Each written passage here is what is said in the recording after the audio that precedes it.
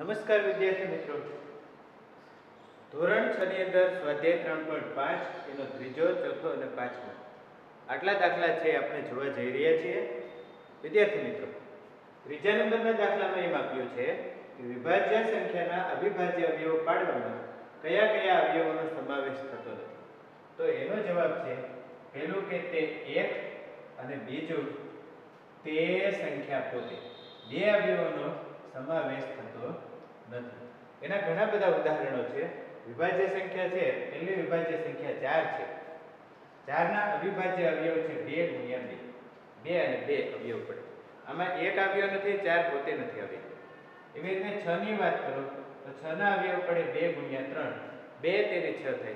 એટલે બે મળે છે, પરંતુ એક નથી મળતો અને તે સંખ્યા પોતે મળતી નથી, છ નથી મળતો. એવી રીતે આપણે એક ઉદાહરણ હજી એક લઈએ. બે દસ છે એ બે પંચા દસ થાય છે.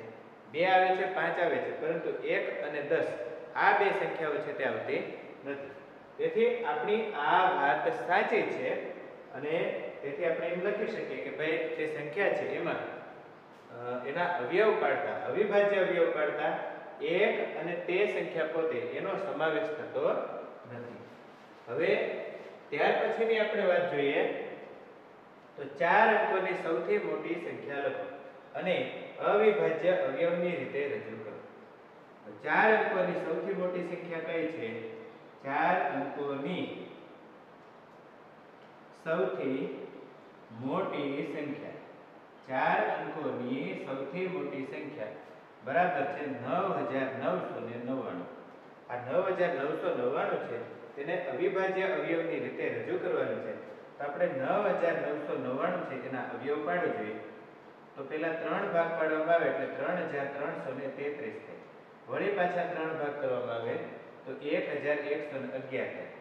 એટલે હવે તે સંખ્યા અગિયાર વડે ભાગી શકાય એમ છે. તેથી એકસો ને એક થાય. એકસો એક ખુદ પણ અવિભાજ્ય સંખ્યા છે. તેથી એકસો એકના ભાગ પાડવામાં આવે તો એક આવશે. અને તેથી નવ હજાર નવસો નવ્વાણું. તેથી એમ કરી નવ હજાર નવસો નવ્વાણું એને અવિભાજ્ય સંખ્યાની રીતે, જો અવિભાજ્ય અવયવની રીતે રજૂ કરવામાં આવે, તો ત્રણ ગુણ્યા ત્રણ ગુણ્યા અગિયાર ગુણ્યા એકસો એક. આ રીતનું આપણે રજૂ કરી શકીએ. વિદ્યાર્થી મિત્રો, ત્યાર પછીનો પ્રશ્ન છે, પાંચ અંકની નાનામાં નાની સંખ્યા લખો. નાનામાં નાની.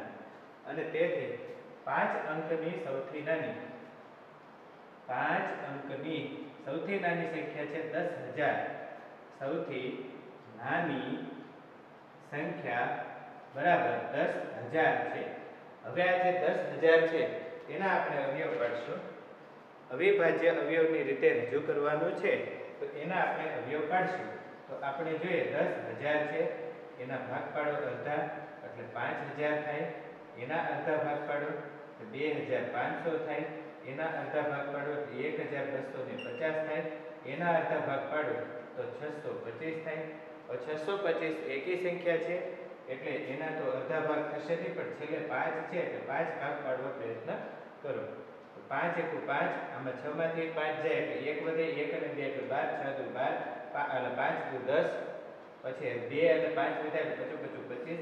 ન ખ્યાલ આવે તો છસો પચીસ ને પાંચ વડે ભાગો, તો જે ભાગફળ આવે તે અહીં લખો શેષ ન વધવી જોઈએ.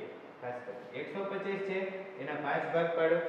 તો પચીસ વધશે અને પચીસના પાંચ ભાગ પાડો, તો પાંચ થશે અને આ રીતે આપણને જવાબ મળે છે. આ એના અવિભાજ્ય અવયવો છે.